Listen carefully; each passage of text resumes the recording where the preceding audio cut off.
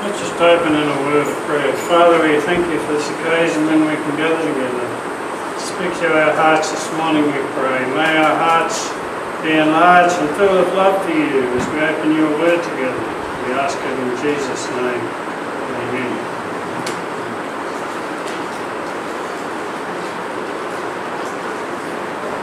Just for those who are visiting with us, my name is Neil Schoch, S-C-H-O-C-H. I've been taking a few liberties with my introduction there, and I'm not a qualified professor of cardiology even though those little letters after it are those of a cardiologist up until the point of ANZ, and then I got confused with banks. So if I do surgery on anyone's heart this morning, you can use the ANZ bank to pay me because it's a very expensive surgery. I don't have a medical degree, but I am a fitter and turner by trade. A fitter and turner is someone who takes fits and turns on a regular basis. Not this morning. The fitter and turner we use the same tools as an orthopaedic surgeon, and I would love to have a go. I told mine that I could do the job just as good as him once, and he got very upset. I was visualising the human skeleton from which I could easily do a disc fusion operation, and ignoring things like skin and blood and nerves and all the rest of it slightly complicate things. But never mind. This morning I want to talk about a healthy heart from a biblical sense. Some 25 years ago I was diagnosed with some of these complaints. I was told to make the most of whatever time I had because it may not be too long. And I just told the doctor that the Lord was in control of my heart and I had no concerns whatever. And he looked at me as if I was stark raving mad. Maybe you'd like a second opinion before you allow me to operate on your beating heart. If so, there's one there. And it's not a second opinion, it's the only answer for heart's problems. Hebrews 4.12, For the word of God is living and powerful and sharper than any two-edged sword, piercing even to the division of soul and spirit and joints and marrow, and is a discerner of the thoughts and intents of the heart. A discerner speaks to me a bit like an x-ray, an MRI, a CAT scan from my medical knowledge. But it's far more powerful and effective than any man-made machine. And we need to allow every day God's Word to operate on our lives and our hearts. Many New Year's Eve resolutions would have been made. I've never made one and therefore never failed to keep one. But getting fit and healthy, losing weight and all those sort of things come commonly up and you need to get a good health checkup before you start strenuous exercise and you need to start eating healthy food. A medical colleague of mine called Dr. Google tells me that the human heart beats approximately 42 million times a year. And by the time you reach 80, and no, it didn't go far enough to reach someone's age, it has beaten 3,363,840 times. Human engineers would love to be able to make a, a pump that efficient. Many times in the early hours of the morning on Stradbroke Island, I was called out to the sand mines to fix a pump. If only they could have a pump like that. But I'm very interested in medicine because I watch every medical show that's ever come on TV and I reckon I'm just about qualified. Especially the glory bits. I freeze them on the TV screen, wait for Norma to come out and then point to it and she would to. I'm not very good at stitching things together again now, but Norma's an expert at it, except that she paints the side of blood, so I'll have to use a uh, staple gun. Getting back, what is the heart in a biblical sense? The heart speaks of the seat of life and strength, the mind or emotions, the soul, possibly the spirit, although that is the most inner part of man that belongs to God. The central part of mankind that belongs to him. When a friend or loved one dies, even in the secular world, the common expression is we will remember them forever in our hearts.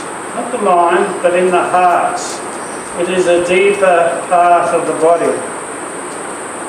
And it was actually in one of the choruses this morning about our names being written on the heart of God, used in a similar sense.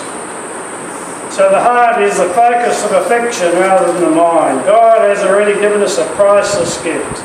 He has put eternity into our hearts, Ecclesiastes 3.11. Everybody has it, but it must be realised that it comes from the one true God, and we must believe in Him. Every civilization, civilization of mankind that has ever existed has a belief in God. Everyone has a belief in some sort of life after death. Don't come back as a caterpillar in my garden or you'll end up sophisticated very quickly. And I apologise to those who are new here for my strange sense of humour. Sadly, there are many false beliefs that have all come from that original truth of the God of the Bible. The heart of man is known by God. You bring that up. Thank you, Linda. Linda's done an amazing job of this. Thank you very much. That includes believers and unbelievers. God is omniscient. There is nothing, absolutely nothing hidden from Him. Many scriptures speak about it. Proverbs 22, 21 2. Every way of a man is right in his own eyes, but the Lord weighs the hearts. A haughty look, a proud look, is sin. Just that expression on your face. If I was to stand here and look down on you with some haughty look, whatever that is, I don't know. 1 Kings 8.39 And give to everyone according to all his ways, whose hearts you know, for you alone know the hearts of all the sons of men, that they may fear you all the days that they live in the land which you gave to our fathers. In 1 Samuel 16.7 when Saul had failed as king and David was to be selected, but the Lord said to Samuel, Do not look at his appearance or at his physical stature, for the Lord does not see as men sees, and we can be thankful for that. For man looks at the outward appearance, but the Lord looks at the heart. Jeremiah 17:9 is probably one of the most commonly known and quoted scriptures. The heart is deceitful above all things and desperately wicked. Who can know it? I, the Lord, search the heart. I test the mind, even to give every man according to his ways. The unregenerate heart of man is truly desperately wicked and deceitful in every way. But there is good news, and we come to that Proverbs 14. a sound heart is life to the body. In chapter 4, 23, keep your heart full diligence for out of it spring the issues of life. Heart disease, high blood pressure, pulse rate, I used to have that. Naturally it's dangerous, resulting in heart failure due to burnout. Spiritually it may be good, but a balance is needed. Pastors who try and do everything usually burn out. There you go, Michael. Feeling good? That's good. They have to preach, they have to marry people, they have to bury people, they have to control the youth group, they have to counsel. And it's just too much for one person to do, and sadly, it results in burnout so many times. Even Jesus went away into a quiet place and rested and prayed. Low blood pressure and pulse rate. It's probably my problem now. It's called old age. You feel cold and clammy, possibly like the church at Laodicea, which was described as being lukewarm, disinterested or half-hearted. Diagnosis, they were reliant on their own abilities and wealth, but spiritually poor. Cure, receive the Lord and rely on his power and his alone. Be zealous and repent. Tachycardia, I had that one also it means that your heart rate keeps changing from either too fast or too slow. At conversion, we have that great rush of emotion and desire to get out and tell everybody about the Lord. But then the trials of life sometimes can get us down. A balanced life and service, excuse me, will be more productive in the long time. And I might need surgery on my voice before I'm finished here. Arrhythmia is simply the heart rate keeps, sorry, the heart beats out of rhythm. I have that also. It's caused by an electrical pathway in the heart. And the doctor will put a probe up into your heart. You can watch it on the screen beside you. You can feel that probe going around your heart. If they find it, they zap it for laser and the problem is over. But they couldn't find it in me. But if we get mixed up in this world and the things of this world, that extra, if you like, electrical pathway will put us out of balance and will never be truly effective in our service for the Lord. Cardiomyopathy, which I'm thankful to say I've never had, commonly referred to as an enlarged heart. Naturally dangerous, but spiritually very good. Isaiah 60, 5, verse 5, Then you shall see him become radiant, and your heart shall swell be enlarged with joy. It's referring to the kingdom age of Israel. Other translations, thrill and rejoice. 2 Corinthians 6.11 O Corinthians, we have spoken openly to you. Our heart is wide open or enlarged.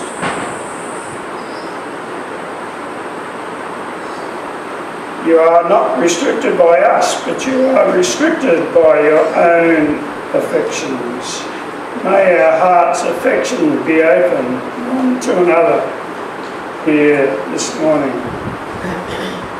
A vow of regurgitation sounds nice, doesn't it? Commonly referred to, thank you, Joan, as a leaky valve. I also have one of those. It lowers the blood pressure and the blood is being pumped to the body resulting in weakness. Remedy is a new or a repaired heart. I used to even use pig's heart, pig's valves and insert them in.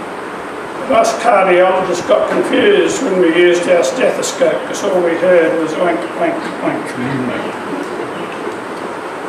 But spiritually, allow the Holy Spirit to have free reign flowing throughout your body with full pressure and full access to every part of the human body. You will go there anyway.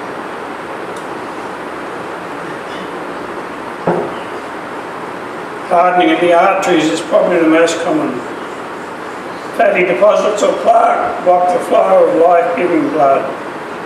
And Satan is seeking to block off those arteries if the heart is not pumping the blood through freely, the oxygen will not get to your brain and you'll only have minutes to live. And also the blood takes the nutrients and nutrition to every part of the body, doing exactly what God designed it to do. And so it's important not to have hardened arteries. The Bible speaks about a heart of stone. It sounds a bit like rigor mortis is set in. Mark 3 5, Jesus was angry and grieved by the Pharisees by their hardness of heart. They had 600 extra regulations and rules which they rigorously imposed apart from the Ten Commandments. But what about us, the disciples? When it came, they saw the miracle of the loaves and the fishes and yet they didn't really believe and understand because their hearts were hardened. And the question is in chapter 8 is your heart still hardened? I wonder if God ever has to say that to us. He examines our heart and knows the thoughts and intents of it, is your heart still hardened? How sad that would be. Have you doubted that God can do great things through you? He has a plan and a purpose, As Paul said, I can do all things through Christ who strengthens me. The cause in us, poor diet and lack of exercise. Simple really, a piece of cake or maybe not. The cure, initially that Christ may dwell through faith in your hearts. I trust He dwells through faith in the heart of every single person here this morning. And that's followed by a life of obedient service to Him. Romans 10, speaking of conversion, says, with your mouth, confess with your mouth the Lord Jesus and believe with your heart that God has raised him from the dead, you will be saved. For with the heart one believes unto righteousness, with the mouth confession is made unto salvation. And spend your rest of your life feeding and being nourished on the Word of God and walk in the truth of it. No spiritual junk food diet, TV, magazines, books, everything that the sinful world is attracted to will only harden the arteries of your heart, which hinders the flow and work of the Holy Spirit within us as we run with endurance the race that is set before us. Our hearts in Hebrews 3 9 are to be established by grace, and we sing about that this morning.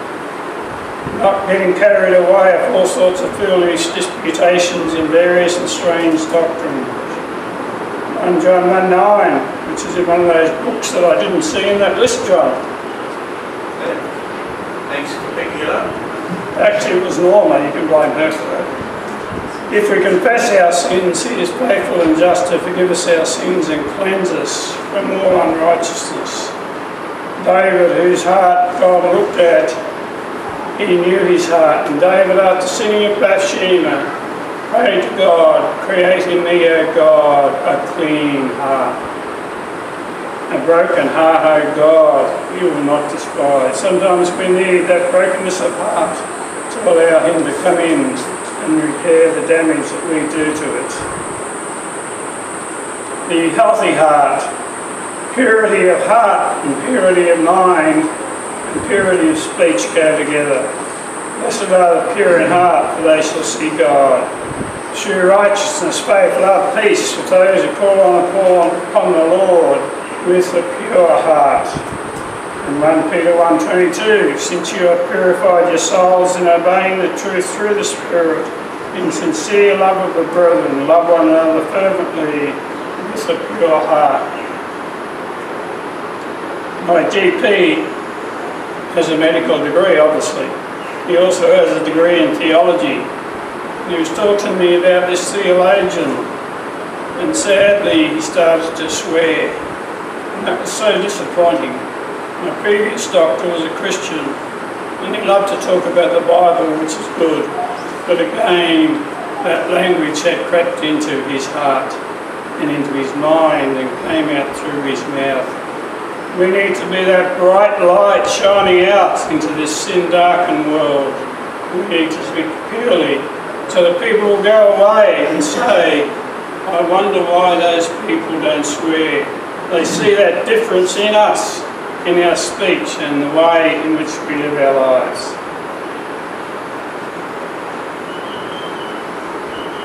A soft and tender heart. That's important. 2 Kings speaks about your heart was tender and you humbled yourself before the Lord. When you heard what I spoke, I also heard you. Is that the state of our heart this morning? Is it soft and tender? 2 Corinthians 3, 2 to 3. Letters of commendation were common in the early church, but false teachers were writing their own letters of recommendation and boastfully writing them. And Paul says, the only letter I need is you yourself, by looking at the good change in your hearts. And I like that too. A good change in your hearts. Everyone can see that we have done a good work among you. They can see that you are a letter from Christ written by us. It is not a letter written with pen and ink, but by the Spirit of the living God. Not one carved on stone, but with human hearts, or the fleshy tables of their heart. Truly soft and tender heart. May our hearts be so impressionable that God's word will sink in and permeate not just our heart, but through it our entire life. A whole heart.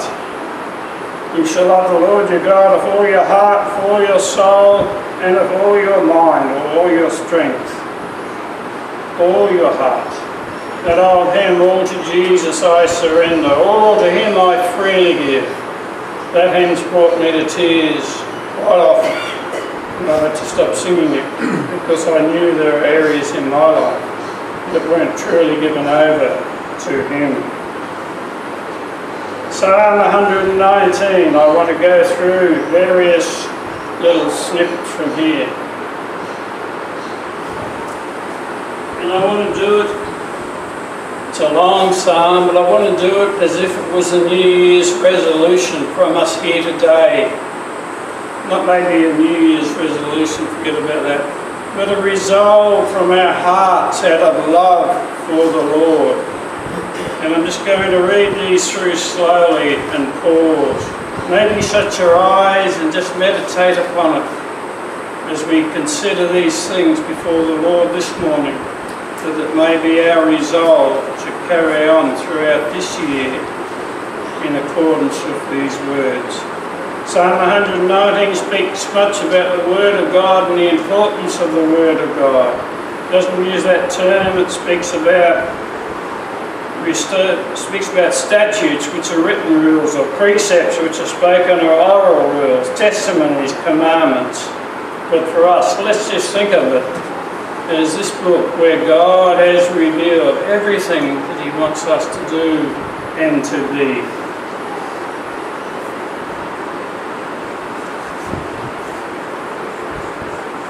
I will seek Him with the whole heart. I will praise you with uprightness of heart. With my heart, I will seek and I will have will seek you. Oh, let me not wander from your commandments. Your word I have hidden in my heart, that I might not sin against you. I will run the course of your commandments, for you shall enlarge my heart. Incline my heart to your testimonies I entreated your favour with my whole heart. I will keep your precepts with my whole heart. Let my heart be blameless regarding your statutes, that I may not be ashamed. Your testimonies I will take as a heritage forever, for they are the rejoicing of my heart. I will incline my heart to perform your statutes forever to the very end. I cry out my whole heart, Hear me, O Lord. But my heart stands in awe of your word. I rejoice at your word as one who finds great treasure. I just want to repeat two of those.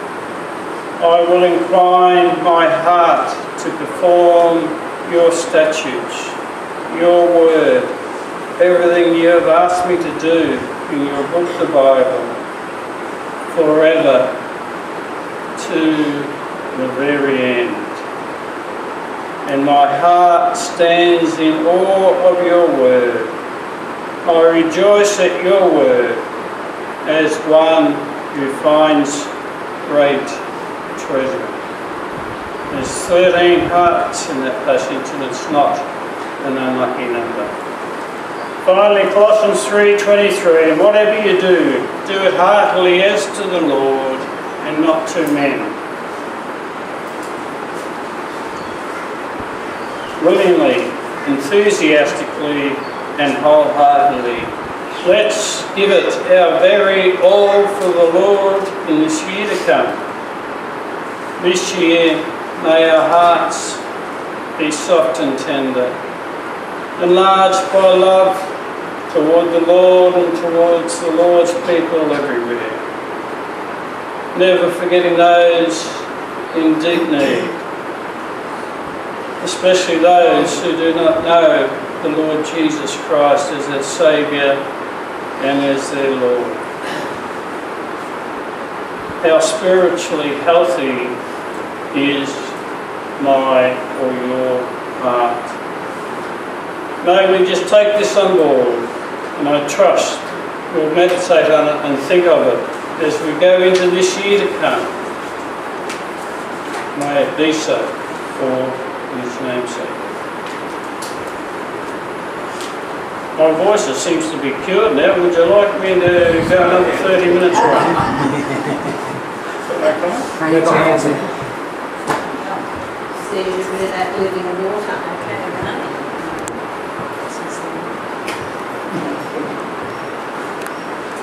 Okay, that, one of the verses that I thought was